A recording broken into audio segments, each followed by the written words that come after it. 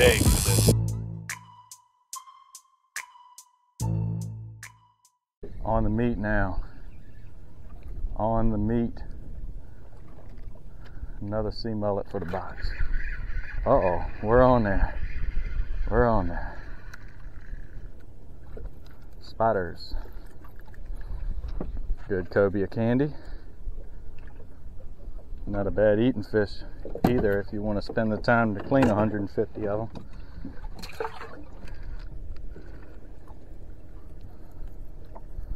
Hold it out as long as possible.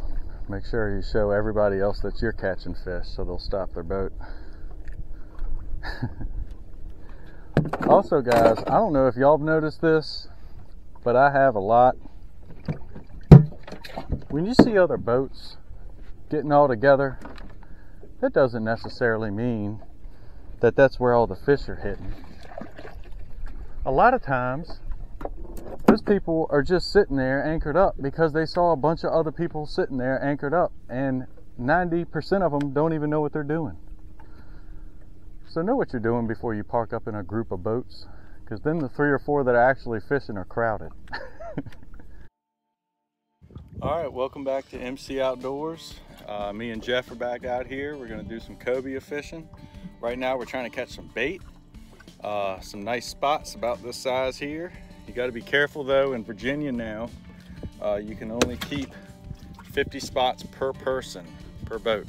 So uh, we're gonna catch our legal limit in spots and hopefully throw them back on the bottom with some eels and a chum slick and catch some cobia out here at Windmill Point. Um, it's beautiful today. It's 5 to 10 southwest winds, south-southwest winds. Uh, it's going to be hot though. It's going to be about 95 degrees, but it's beautiful out here on the bay and uh, we're looking forward to what we might get into. We'll see y'all when we're reeling them in. Anchored up, got the chum out, the rods out, we got eels, we got spots. We're just waiting on the man in the brown suit now right there. Sitting on top. I'm gonna drop it down to the bottom here in a little bit. Don't worry, it's just a false alarm. It is a false alarm. All right. When he hits, I'll turn you back on.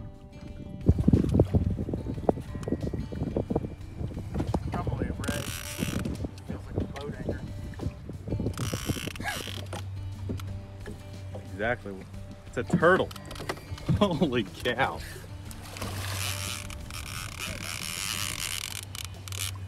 Jesus. You got any got pliers ready? Jesus. We can cut it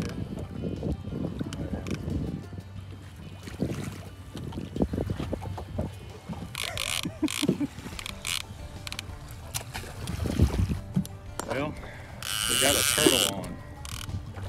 Right here at the mouth of the Rappahannock in the Chesapeake Bay. One of the last things I was expecting to see.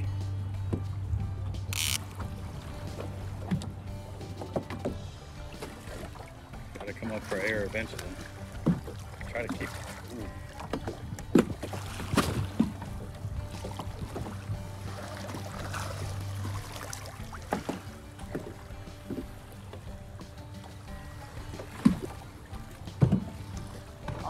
Get him close enough to save anything. I swear. you want to fight a turtle for a minute?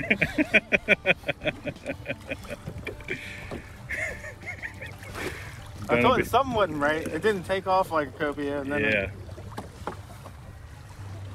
But we've seen them where they don't quite take off. They just sit there with it.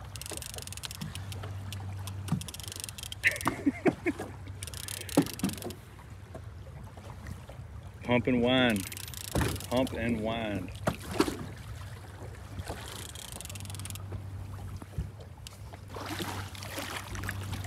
cut it. You can cut it. You don't have to worry about the hook. It'll rust up.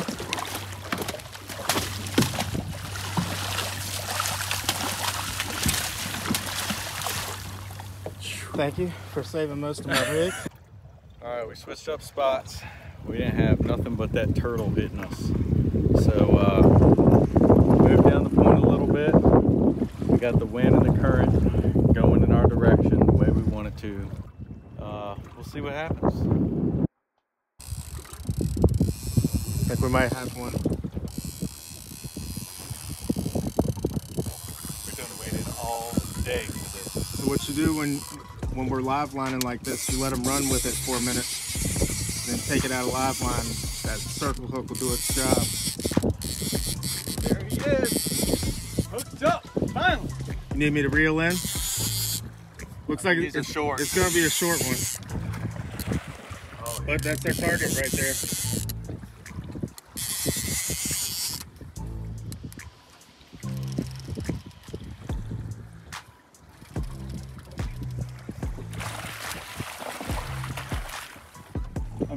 I missed the whole netting process. For some reason it turned off.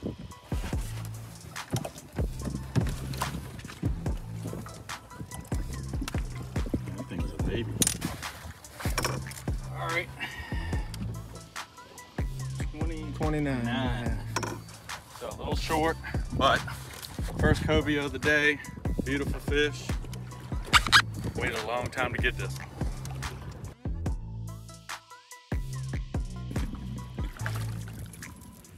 All right.